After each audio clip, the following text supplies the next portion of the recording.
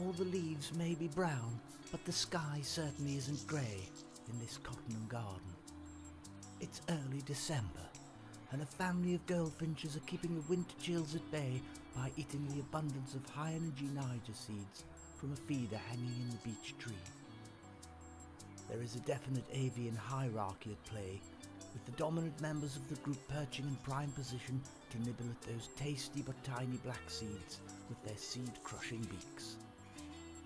As we could see, there is space on the feeder for four birds, and yet those lower down the hierarchy seem keen to shuffle up and down nearby branches and make a play for an occupied perch, only to be rebuffed by its resident with raucous calling and a great flapping of golden wings. Perhaps there is social climbing involved, or maybe the birds simply perceive the occupied perches as being somehow better.